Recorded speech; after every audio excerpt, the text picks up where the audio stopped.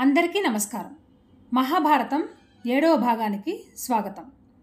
ఈ గ్రంథంలో వ్యాస భగవానుడు వేదాంతుల కోసం గహనమైన వేదాంత శాస్త్రాన్ని విశదీకరించారు.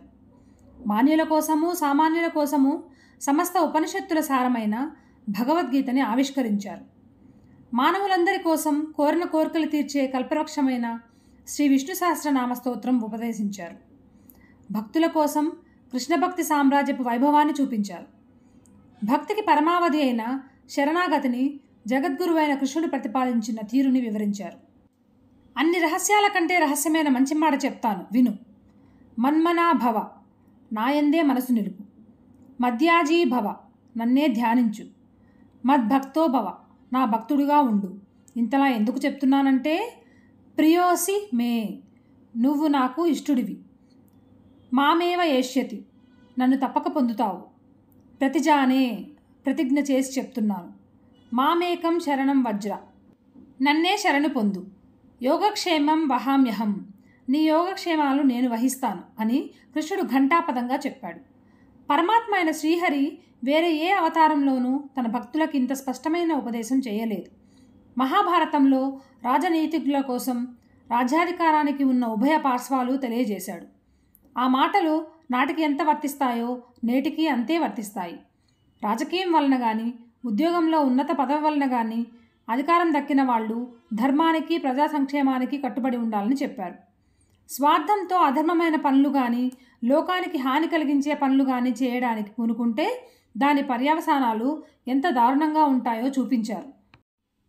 అధర్మం స్వయంగా చేయకపోయినా అధర్మానికి ధర్మానికి మధ్య జరిగే సంఘర్షణలో ధర్మపక్షంలో నిలబడలేకపోయిన ఉదాసీనులు ఎలా చరిత్రహీనులవుతారో చూపించారు. సనాతన ధర్మం ప్రకారము వంశాచారాల ప్రకారము రాజ్యం మీద అంటే ఆస్తి మీద హక్కు ఎవరికి ఉంటుందో ఎవరికి ఉండదో స్పష్టంగా చెప్పారు. హక్కు ఉన్నా అనుభవించేందుకు పరిస్థితులు అనుకూలించని వారికి ఆ హక్కు లేకపోయినా పరిస్థితులు అనుకూలించి అనుభవించే భాగ్యం లభించిన వారికి మధ్య ఏర్పడే సంఘర్షణ ఎలా ఉంటుందో చూపించారు. వినయం వివేకం సహనం సమర్థత వంటి ఉదాత్తమైన గుణాలు వలన కలిగే ప్రయోజనం చూపించారు. ధనమదం అహంకారం అసహనం దుర్మార్గం వలన సమూలంగా ఎలా నాశనమవుతారో చూపించారు. ఒక పక్క సనాతన ధర్మాన్ని శాస్త్రాలను ఆమోదించిన రాజనీతిని చెప్తూనే మరొక పక్కన కూటనీతిని కూడా ఎంత అవసరమో చెప్పారు. గేలానికి చిన్న ఎరని కట్టి చేపని పట్టి చంపి బ్రతికే మత్స్యకారుణ్ణి మహారాజుకి ఉదాహరణగా చెప్పాడు. పొట్టపూసుకునేందుకు చిన్న చేపని పడ్డానికే అంత క్రూరత్వం అవసరమైతే ఐశ్వర్యం కోరేవాడికి ఎంత క్రూరత్వం ఉండాలో మహైశ్వర్యం కోరేవాడు ఇంకెంత క్రూరత్వం అలవర్చుకోవాలో ఆలోచించుకోమన్నారు. లోకంలో ఎవరైనా మహైశ్వర్యాలు మాయోపాయాల వల్లనే సంపాదిస్తారని చెప్పారు. ఇలా కూటనీతిలో చాలా విషయాలు వివరించి చివరికి ఇవన్నీ శాస్త్రాలలో చెప్పారు. కానీ వీటిని ఆమోదించడం ఆమోదించకపోవటం నీకు పుట్టుకతో వచ్చిన స్వభావం మీద ఆధారపడి ఉంటుంది అని చెప్పారు. అయితే ఆశాపాశానికి లోనై కూటనీతినే ఆశ్రయిస్తే మూలనాశనమయ్యే ప్రమాదం ఉందని హెచ్చరించారు. ధృతరాష్ట్రుడు ఉత్తమమైన రాజనీతిని సనాతన ధర్మాన్ని వదిలిపెట్టాడు. కూటనీతినే ఆశ్రయించాడు. ఫలితం అనుభవించాడు. రాజ్యాలేలే రాజులకే కాక సామాన్య మానవులకు కూడా నిత్య జీవిత గమనంలో ఆశావాదాన్ని అలవరుచుకోవడం మానవీయ విలువల్ని నిలబెట్టుకోవడం ఎలాగో నేర్పారు. అందుకే మంచి చెడుల గురించి ఎప్పుడు ఎక్కడ ఎవరు చర్చించినా మహాభారతంలో ఉన్న మాటలే చెప్పుకుంటారు. ఇందులో లేనివేవి చెప్పుకోదగినవి లేవు అంటారు పెద్దలు. మహాభారతంలో పద్దెనిమిది పర్వాలున్నాయి. వీటిలో మొదటి ఐదింటిని ఆది పంచకం అంటారు. తర్వాతి ఆరు పర్వాలని యుద్ధ షట్కం అంటారు. మిగిలిన ఏడు పర్వాలని శాంతి సప్తకం అంటారు. ఇంత విశిష్టమైన విస్తృతమైన మహాభారత సంహితలో ప్రతి పాత్రని ఎంతో నేర్పుగా నిర్మించాడు వ్యాస భగవానుడు. తాను కూర్చిన సంహితలో తాను ఒక పాత్ర అయ్యాడు.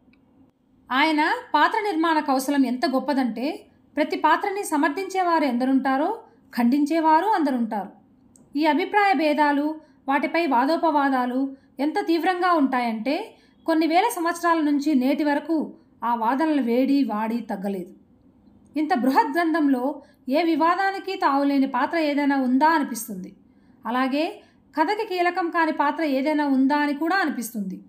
ఉదాహరణకి కుంతి పాత్రనే తీసుకున్నా ఎంత సంక్లిష్టమైన పాత్ర నిర్మించారో కదా అనిపిస్తుంది. ఆది పర్వం నుంచి స్వర్గారోహణ పర్వం వరకు కుంతి పాత్రకి అనేక కోణాలు చూపించారు వ్యాసభగవానుడు. ఆమెని ఆదర్శవంతురాలైన రాజకుమారిగా చూపించారు. ఉచితానుచితాలు గమనించకుండా కుతూహలం ఆపుకోలేక పీక మీదకు తెచ్చుకునే పనులు చేసిన అమాయకురాలుగా చూపించారు. ఉత్తమ ఇల్లాలుగా మహాపతివ్రతగా సవతిని సోదరులా చూసిన ఉదార చరితగా రాజనీతిజ్ఞురాలిగా మనసు మీద పూర్తి నియంత్రణ సాధించిన స్థితప్రజ్ఞురాలిగా ఇలా ఎన్నెన్నో కోణాలలో ఆమె పాత్ర మనకి కనిపిస్తుంది. కుంతి తనని దత్తత ఇమ్మని కోరలేదు కానీ ఆమెను దత్తత ఇచ్చారు.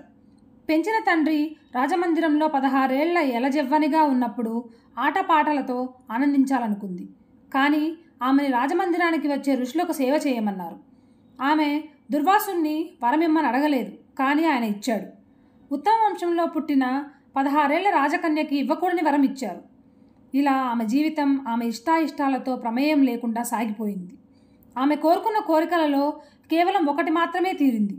స్వయంవరంలో పాండురాజుని భర్తగా కోరుకుంది. అతడితో ఆమె వివాహం జరిపించారు. ఆ వివాహంతో భూమండలమంతా వ్యాపించి ఉన్న కురువంశీయుల మహాసామ్రాజ్యానికి ఉత్తరాధికారి అయిన పాండురాజుకి పట్టమహర్షి అయింది కుంతి. వివాహమైన కొత్తలో భర్త నుంచి చిక్కని అనురాగం అందుకుంటున్న ఆనందమయ సమయంలో అనుకోనిది జరిగింది. ఆమె ఊహించలేదు ఆమె భర్త కోరలేదు. అయినా ఆమె జీవితంలోకి ఒక సవతిని ప్రవేశపెట్టాడు భీష్ముడు. ఆ సవతిని కుంతి సాధారణంగా అక్కును చేర్చుకుంది సోదరులా ఆదరించింది. తాను ధర్మకార్య నిర్వహణలో తలమునకలై ఉండగా సవతి తన భర్తతో వనవిహారానికి వెళ్ళింది. కుంతి అభ్యంతరం చెప్పలేదు అసూయపడలేదు. పట్టమహర్షి అయితే తీరే కోరికలు కలిగే భోగాలు అటుంచి సామాన్య స్త్రీ కోరుకునే సహజమైన కోరికలు తీరడానికి కూడా ఆమె నోచుకోలేదు. ఆమె ఆశలతోనూ ఆశయాలతోనూ సంబంధం లేకుండా ఊహించని అనేక వంకర మలుపులు తిరుగుతూ సాగిపోయింది ఆమె జీవితం. విధి ఆమెతో ఎన్నో ఆటలు ఆడుకుంది. ఆమె ఎప్పుడు ఏది కావాలనుకున్నా దానిని అందుబాటులోకి తీసుకువస్తున్నట్లే తెచ్చి అందింది అందుకొని ఆనందించే క్షణంలో దూరం చేసింది. అయితే కుంతి ఏనాడూ కుంగిపోలేదు. కర్తవ్యం విస్మరించలేదు. కురువంశ సంప్రదాయాలను ఉల్లంఘించలేదు. ఏ పరిస్థితులు ఎదురైనా ధర్మాన్ని అతిక్రమించలేదు. జీవితపు చరమాంకం విశ్వవిజేత అయిన సార్వభౌముడు తన కుమారుడు యుధిష్ఠరుడి సేవలు అందుకుంటూ గడపవచ్చు. కానీ ఆమె సంప్రదాయం పాటించడమే తన కర్తవ్యం అనుకుంది. తాను తన కుమారులు అనుభవించిన కష్టాలన్నిటికీ ధృతరాష్ట్రుడే కారణమని తెలిసి కూడా గాంధారి ధృతరాష్ట్రులు తనకు పూజ్యులు అనుకున్నది వారిని అనుసరించి వానప్రస్థాశ్రమానికి వెళ్ళిపోయింది. కుంతి పాత్రని ఎంత విశ్లేషించి చూస్తే అంత అద్భుతమనిపిస్తుంది. మహాభారత మహేతిహాసంలో ఇంత వైవిధ్యభరితమైన పాత్ర ఇంకొకటి ఉందా అనిపిస్తుంది. అయితే ఈ మహేతిహాసంలో ప్రతి పాత్రని ఇలాగే రూపొందించారు వ్యాసుడు ప్రతి పాత్ర అనేక పాత్రలతో అనేక విధాలుగా ముడిపడి ఉంటుంది. కుంతి పాత్ర పాండురాజుతోనూ పాండువు పాత్ర వ్యాసుడితోనూ వ్యాసుడి పాత్ర సత్యవతితోనూ ఆమె పాత్ర శంతనుడితోనూ చంద్రవంశంలో పుట్టిన శంతనుడి పాత్ర ఒక సూర్యవంశపు రాజుతోనూ ఆయన పాత్ర స్వర్గంలో ఉన్న గంగతోనూ ఇలా ఈ సంహితలో పాత్రలు ఒకదానితో ఒకటి చక్కగా అల్లుకుపోయి ఉంటాయి. ఇంత అద్భుతమైన ఇతిహాసం కనుకనే ఇది ఇంతకాలం ప్రజల్లో నిలిచి ఉంది. ఈ భాగం ఇంతటితో సమాప్తం. నమస్కారం.